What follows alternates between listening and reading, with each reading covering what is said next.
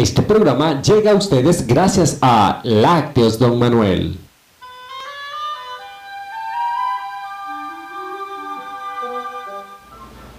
Muy buenas tardes amigos de Doaca, sean todos bienvenidos a su programa Tu Encuentro Vespertino.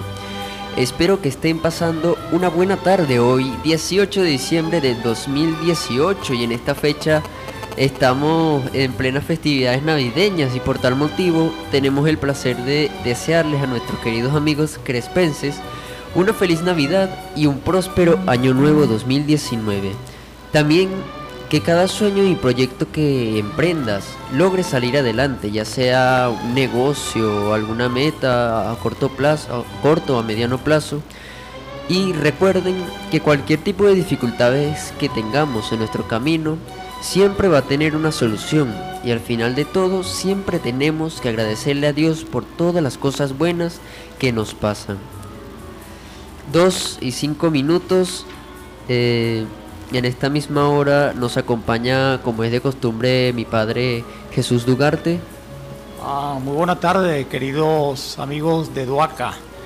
Eh, pues nuevamente al programa Tu Encuentro Despertino. Para nosotros es muy grato hacer este programa en esta fecha tan importante, como mencionaba Sebastián, en relación con lo que es la Navidad. Eh, lamentablemente pues la próxima semana coincide el martes con el 25 y el siguiente martes con el primero de, enero, así que estaremos de repente 15 días en unas vacaciones obligadas, ¿verdad Sebastián? sí. En la dirección y en los controles tenemos al licenciado Félix Álvarez y les habla Sebastián Dugarte desde Adoqueña 99.9 FM. Nuestro teléfono es el 414 507 1585. En Facebook nos puede encontrar como Radio Comunitaria Duaqueña FM. En Twitter, arroba Duaqueña FM. En Instagram, duaqueña.fm. Y nuestro canal de YouTube es Duaqueña FM. El día de hoy estaremos compartiendo con ustedes breve, un breve resumen, podría decirse, sobre un personaje muy particular como lo es el famoso Leonardo da Vinci. Nuestras, también estaremos compartiendo nuestras acostumbradas noticias sobre el municipio Crespo, traídas por, cortesía del Ateneo de Doaca Cotepa Delgado.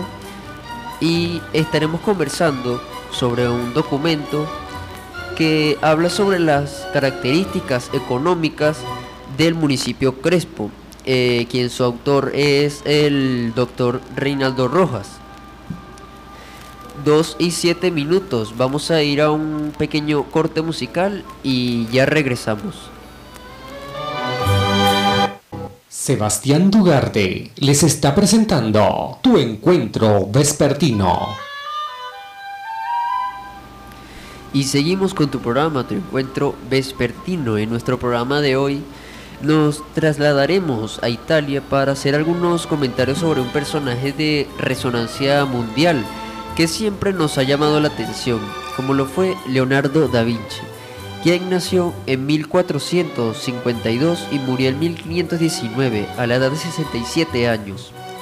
Leonardo fue un, personaje polifacético que incursionó en campos tan variados como la aerodinámica, la hidráulica, la anatomía, la botánica, la pintura, la escultura y la arquitectura, entre otras, cuyas visionarias intenciones e invenciones perdón, estuvieron cinco siglos adelantadas a su tiempo. Sus investigaciones científicas fueron en gran medida olvidadas y minusvaloradas por sus contemporáneos, su producción pictórica, en cambio, fue de inmediato reconocida como la de un maestro capaz de materializar el ideal de belleza en obras de turbadora sugresión y de, delicada poesía, como su obra maestra con la Gioconda a la cabeza. Leonardo, Leonardo nació en 1452 en la villa toscana de Vinci, hijo natural de una campesina Caterina, que se casó poco después con un artesano de la región, y de Ser Piero, un rico notario florentino. Italia era entonces un mosaico de ciudades-estado como Florencia, pequeñas repúblicas como Venecia y feudos bajo el poder de los príncipes o el papa. El imperio romano de Oriente cayó en 1453 ante los turcos y apenas sobrevivía aún, muy reducido el sacro imperio romano germánico. Era una época violenta en la que, sin embargo, el esplendor de las cortes no tenía límites. La enorme curiosidad de Leonardo se, manifestó tempranamente, ya que en la infancia dibujaba animales mitológicos de su propia invención, inspirados en una profunda observación del entorno natural en el que creció. Consciente del talento de su hijo, su padre le permitió ingresar como aprendiz en el taller de Andrea del Verrocchio. A lo largo de los seis años que el gremio de pintores prescribía como instrucción antes de ser reconocido como artista libre, Leonardo aprendió pintura, escultura y técnicas y, técnicas y mecánicas de la creación artística. El joven discípulo utilizaba allí por primera vez una novedosa técnica recién llegada de los Países Bajos, la pintura al óleo, que permitía una mayor blandura en el trazo y una más profunda penetración en la tela. Además de los, eh, de los extraordinarios dibujos y de la participación virtuosa en otros cuadros de su maestro, sus grandes obras de este periodo son un San, un San Jerónimo y el gran panel La adoración de los magos, ambos inconclusos notables por el innovador dinamismo otorgado por la destreza en los contrastes de rasgos, en la composición geométrica de las escenas y en el extraordinario manejo de la técnica del claro oscuro. Florencia era entonces una de las ciudades más ricas de Europa. Las numerosas tejeduras y los talleres de manufactura de seda y brocados de Oriente y de lanas de Occidente la convertían en el gran centro comercial de la península itálica. A partir de 1482 se presentó ante el poderoso Ludovico, Ludovico Sforza, el, nombre, el hombre fuerte de Milán, en cuya corte se, quedaba, se quedaría 17 años, aunque su ocupación principal era la de ingeniero militar sus proyectos, casi todos irrealizados, acabaron, acabaron la abarcaron la hidráulica, la mecánica, con innovadores sistemas de palancas para multiplicar la fuerza humana y la arquitectura, además de la pintura y la escultura. Estimulado por la dramática peste que asoló Milán y cuya causa veía Leonardo en el hacinamiento y sociedad de la ciudad, Proyectó espaciosas villas, hizo planos para canalizaciones de ríos e ingeniosos sistemas de defensa ante la artillería enemiga. Habiendo recibido de Ludovico el encargo de crear una monumental estatua, estatua ecuestre en honor de Francesco, el fundador de la dinastía Sforza, Leonardo trabajó durante 16 años en el proyecto del Gran Caballo, que no se concretaría más que en un modelo de barro, destruido poco después durante una batalla. Leonardo sostuvo que a través de una atenta observación debía reconocerse los objetos en su forma y estructura para describirlos en la pintura de la manera más exacta. De este modo el dibujo se convertiría en el instrumento fundamental de su método didáctico al punto de que podría decirse que en sus apuntes el texto estaba para explicar el dibujo y no al revés, razón por la que Leonardo da Vinci ha sido reconocido como el creador de la moderna ilustración científica. Contratado en 1483 por la Hermandad de la Inmaculada Concepción para realizar una pintura para la iglesia de San Francisco, Leonardo emprendió la realización de lo que sería la Virgen de las Rocas, cuyo resultado final en dos versiones no estaría listo a los ocho meses que marcaba el contrato, sino a 20 años más tarde. En ambas versiones, la estructura triangular de la composición, la gracia de las figuras y el brillante uso del, del famoso esmufato para realzar el sentido visionario de la escena supusieron una revolución estética para, sus contemporáneos.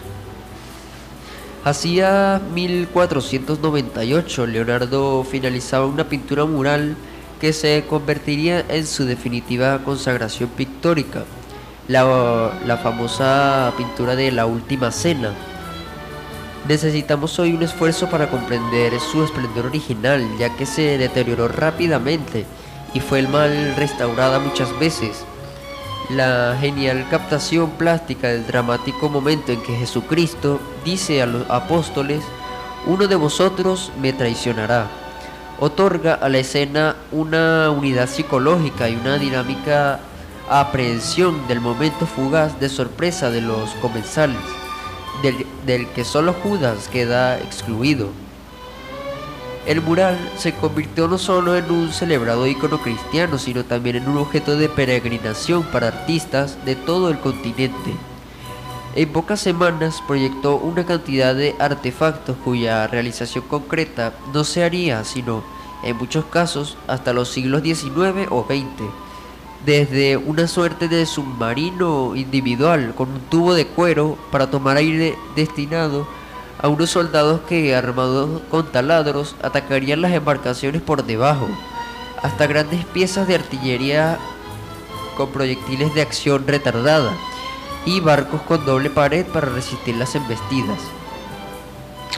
Los costes, desorbitados, la falta de tiempo y quizá las pretensiones de Leonardo en el reparto del botín, excesivas para los venecianos, hicieron que las geniales ideas no pasaran de bocetos. En abril de 1500, tras casi 20 años de ausencia, Leonardo da Vinci regresó a Florencia. Para esa época, Leonardo ya era reconocido como uno de los mayores maestros de Italia. En 1501, en 1501 había trazado un boceto de su Santa Ana, la Virgen y el Niño, que trasladaría al lienzo a finales de la década. En 1503 recibió el encargo de pintar un gran mural, el doble de tamaño que el de la Última Cena, en el Palacio Viejo. La, nobleza florentina quería inmortalizar algunas escenas históricas de su gloria. Leonardo trabajó tres años en la batalla de Anghiari, que quedaría inconclusa y sería luego desprendida por su deterioro.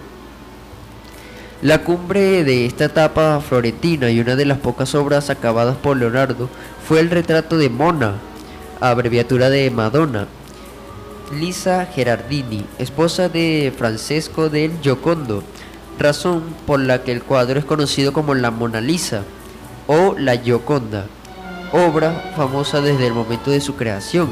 Se convirtió en modelo de retrato y casi nadie escaparía a su influjo en el mundo de la pintura. Como cuadro y como personaje, la mítica Gioconda ha inspirado infinidad de libros y leyendas y hasta una ópera. Pero es poco lo que, lo que se conoce a, a ciencia cierta. Ni siquiera se sabe quién encargó el cuadro que Leonardo llevaría consigo en su continua peregrinación vital hasta sus últimos años en Francia, donde lo vendió al rey Francisco I por 4.000 piezas de oro. En este cuadro de la Gioconda, Leonardo logró plasmar un gesto entre lo fugaz y lo, lo perenne. La enigmática sonrisa de la Gioconda es uno de los capítulos más admirados, comentados e imitados de la historia del arte, y su mísero y su misterio sigue aún hoy fascinando. Existe la leyenda de que Leonardo promovía ese gesto en su modelo, haciendo sonar laudes mientras ella posaba.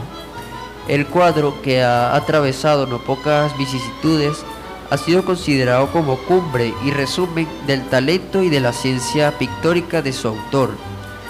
El interés de Leonardo por los estudios científicos era cada vez más intenso asistía a disecciones de, cadáveres sobre los que confeccionaba dibujos para describir la estructura y funcionamiento del cuerpo humano.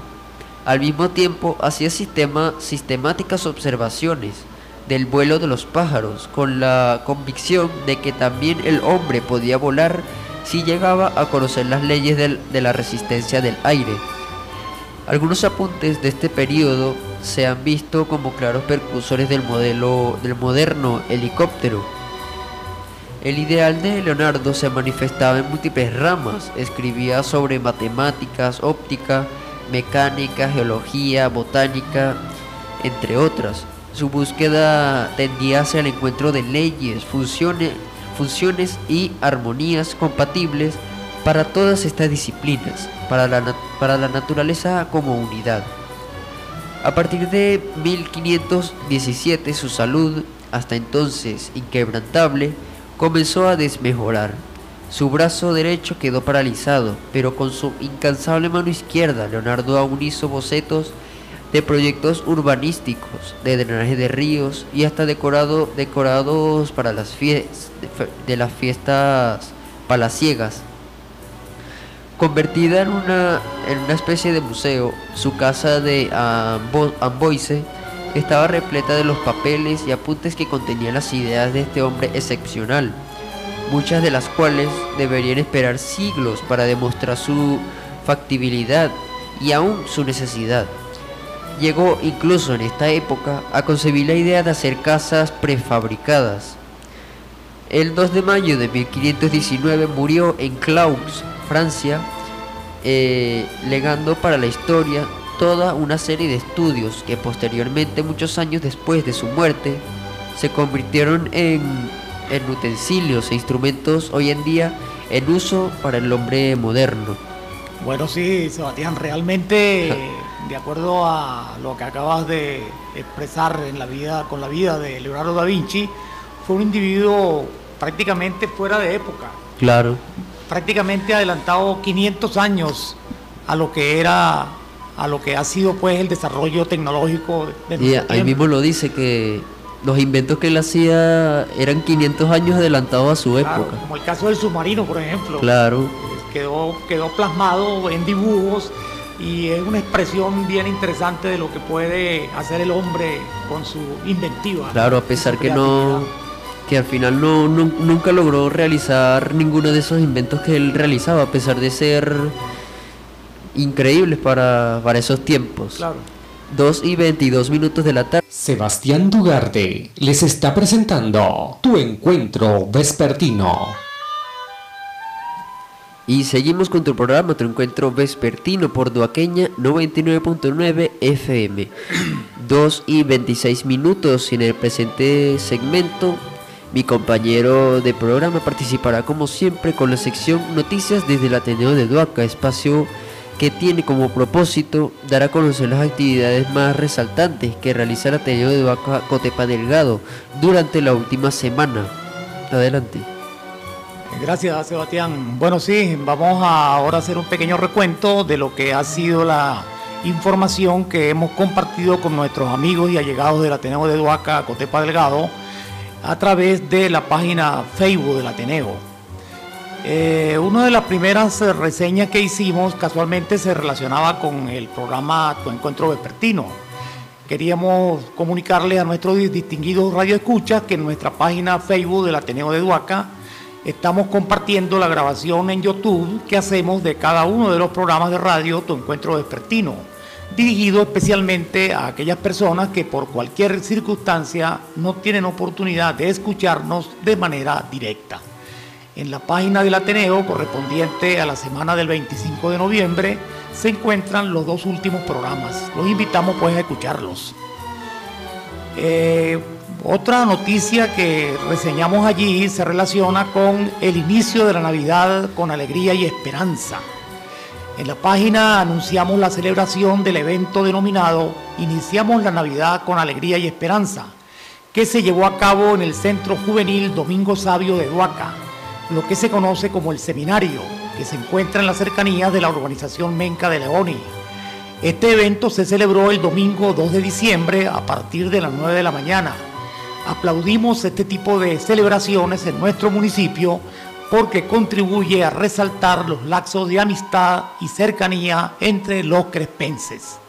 Además, el evento tenía un propósito altruista, por cuanto se determinó que para la entrada se esperaba la donación de un juguete, ropa nueva o usada, y de esa manera los asistentes estaban contribuyendo con la campaña navideña Huellas de Amor felicitaciones pues a los organizadores de este eh, muy buen evento. También nos llamó la atención el nuevo galardón que se ganó el poeta larense Rafael Cadenas.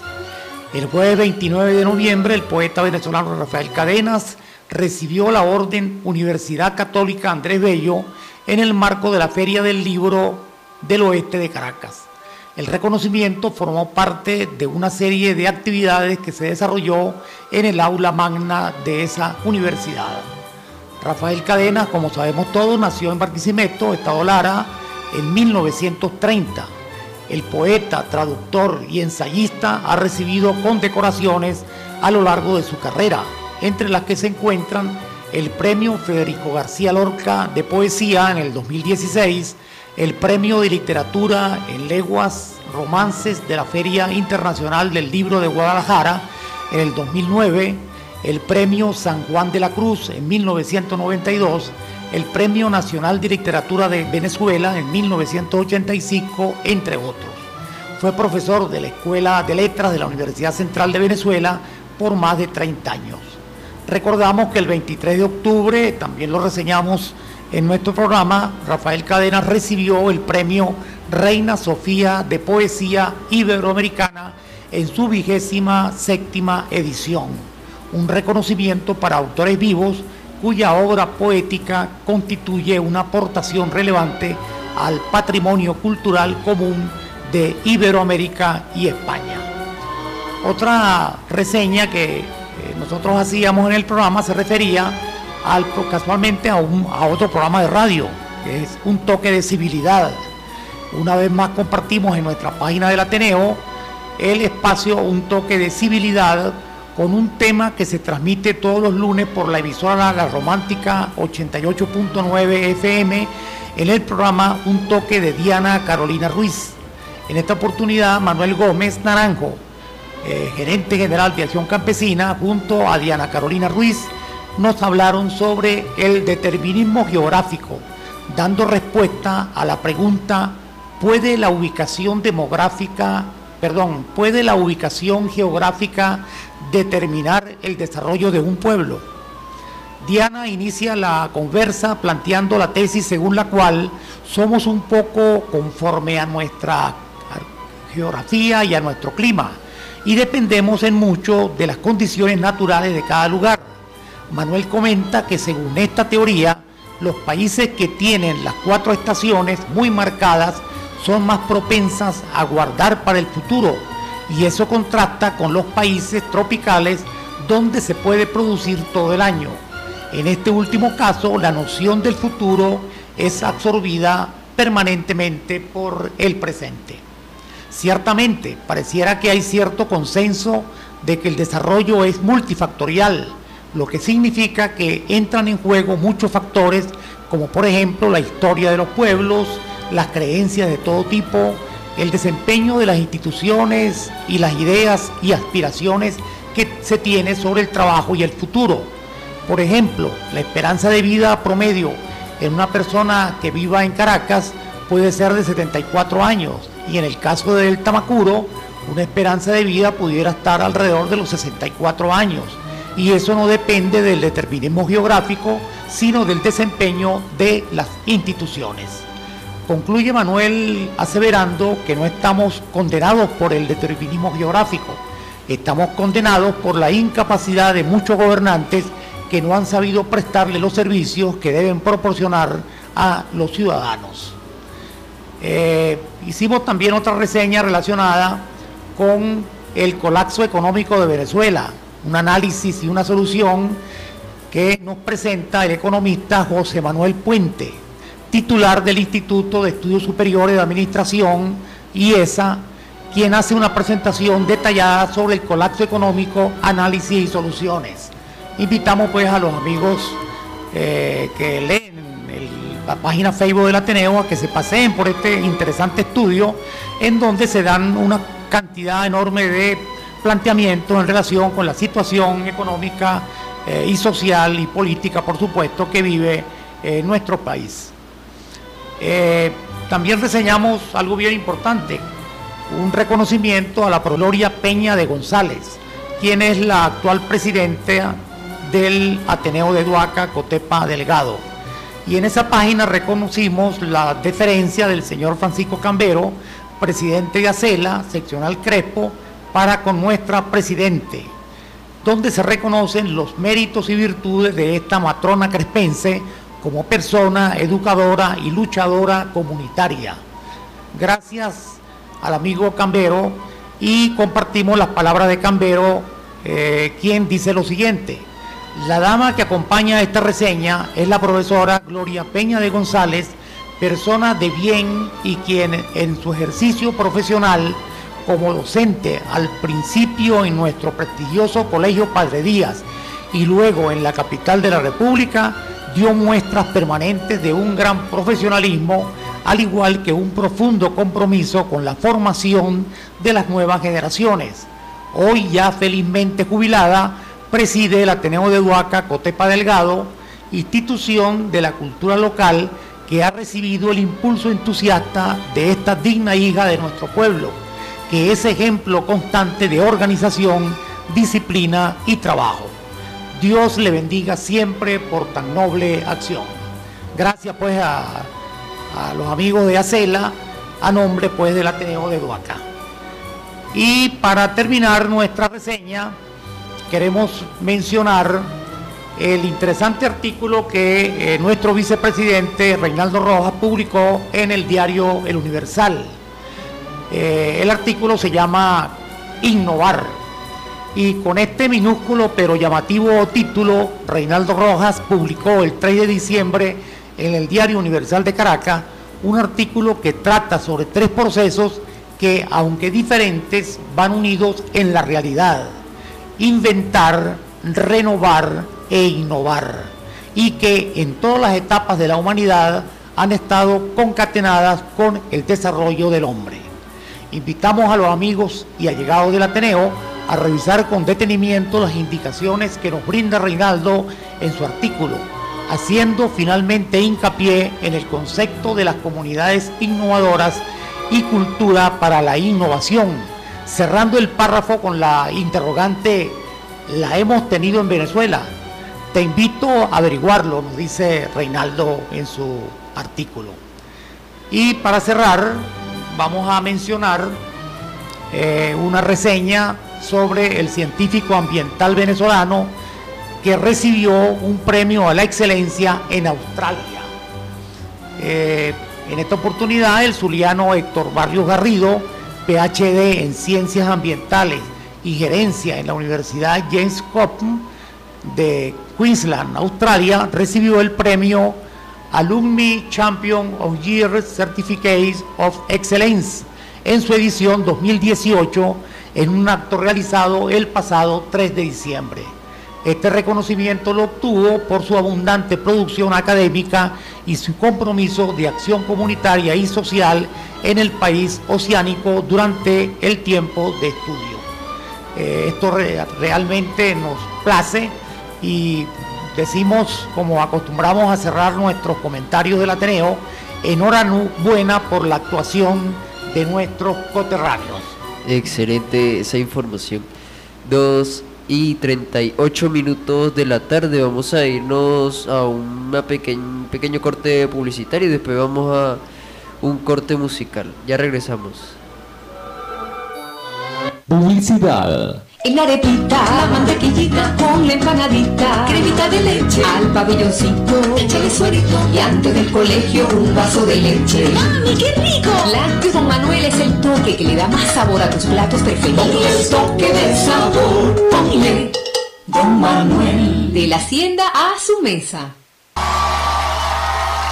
Sebastián Dugarte les está presentando tu encuentro vespertino. Y seguimos con tu programa, tu encuentro vespertino por Tuaqueña 99.9 FM.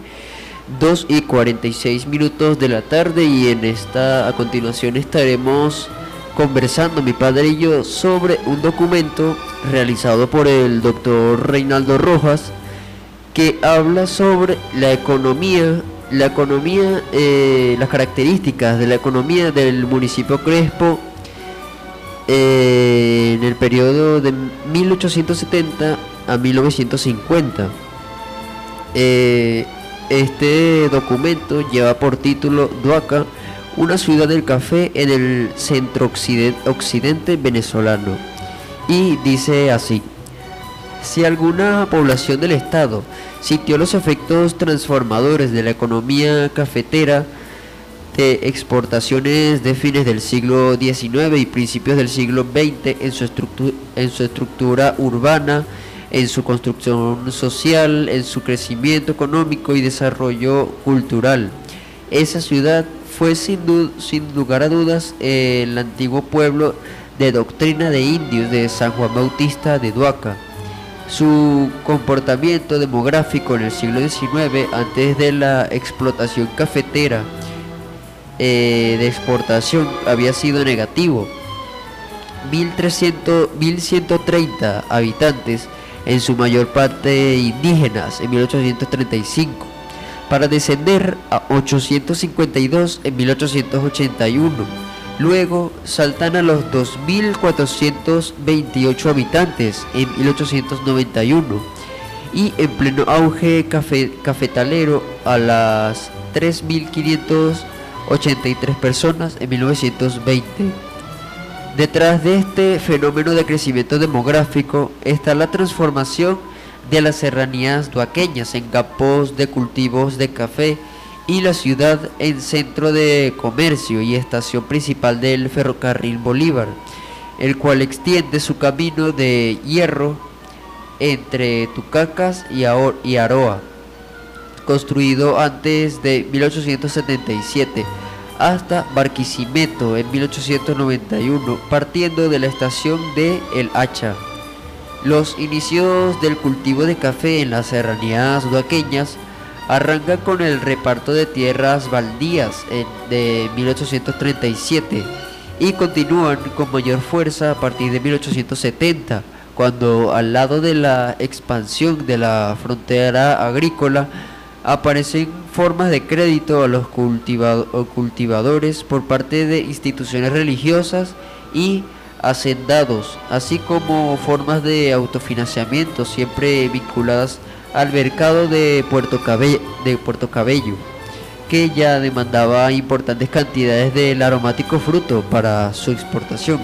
Sí, es importante comentar que la oportunidad que tuvo Uduaca con el tema del café es que las condiciones climatológicas y si se quiere también de suelo eh, eran elementos positivos que hacían posible la incorporación de este importante rubro. Y es así como prácticamente toda la parte de lo que es la serranía que nos limita con el estado Yaracuy por la porción este y también con el municipio Urdaneta por la parte norte, eh, se prestaban por las mismas condiciones orográficas que tiene la, estas serranías para este cultivo que requiere especialmente eh, de cierta altura sobre el nivel del mar. El café, como todos saben, se desarrolla bien, bien a partir de los mil metros sobre el nivel del mar. Entonces esto es algo importante que hay que acotar. Sí, ya para los años 70 y 80 el café era un cultivo de futuro y hacia su explotación en gran escala se encaminaba a Duaca lo cual propicia la extensión de la línea ferroviaria que servía a las minas de Aroa para la explotación del cobre a la ciudad de Barquisimeto, con el propósito de servir al comercio de exportación del café. El paso del ferrocarril Bolívar por Duaca no solo obedecía a razones geográficas, sino también a factores de orden económico. Por los, por los cuatro puntos cardinales, dice Orlando Cardoso en estudio, en estudio sobre el tema, prácticamente se cultivaba café y señala como sitios de producción Tumaque arriba y Tumaque abajo, los volcanes, Agua Fría, la fila de Colmenares, Camburito, Rinconondo, Limoncito, El Uso y Caraquita.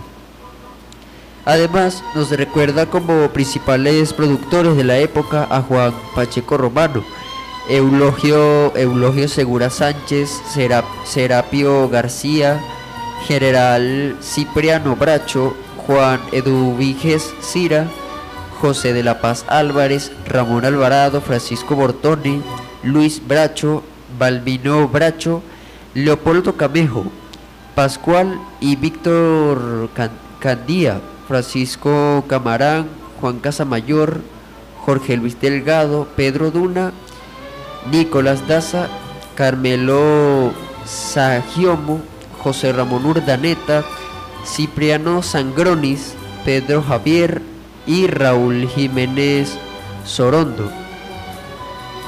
En esta lista de los cafetaleros más importantes de Duaca en las dos primeras décadas del siglo XX, se pueden apreciar los apellidos de aquellos hombres que vendrán a ser los refundadores de la ciudad actual, pues de su seno saldrán las familias más ilustres de la Duaca del Café, no solo por razones económicas, sino también por el quehacer educativo y cultural que muchos de ellos le impusieron a la sociedad de entonces, con aquel espíritu de progreso y de modernidad que hicieron de Duaca la perla del norte, fundando instituciones sociales como el Club Bolívar en 1895, instituciones educativas, periódicos y centros culturales.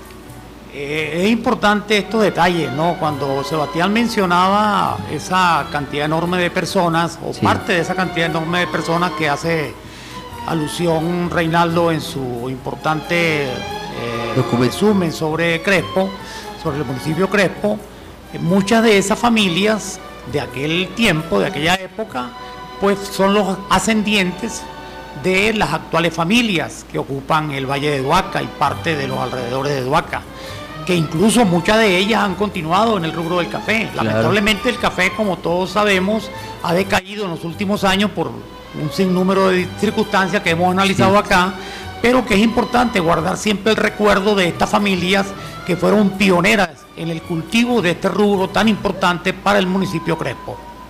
Será. Y 2, 2 y 56 minutos de la tarde y con esta información ya llegamos al final de nuestro programa de hoy. Muchas gracias a todos los que nos estuvieron sintonizando solamente por la Duaqueña 99.9 FM. Eh, teléfono 0414-507-1585.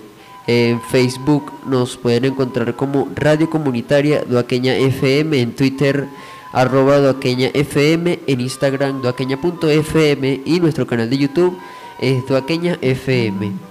En la dirección y en los controles estuvo el licenciado Félix Álvarez. En los micrófonos me acompañó mi padre Jesús Dugarte y les estuvo hablando Sebastián Dugarte.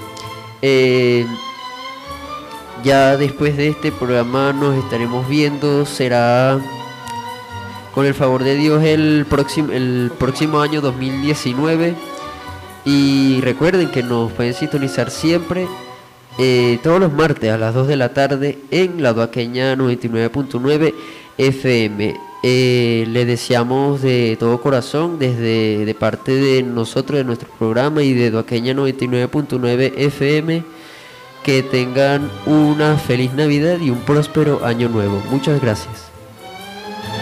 Este programa llegó a ustedes gracias a Lácteos Don Manuel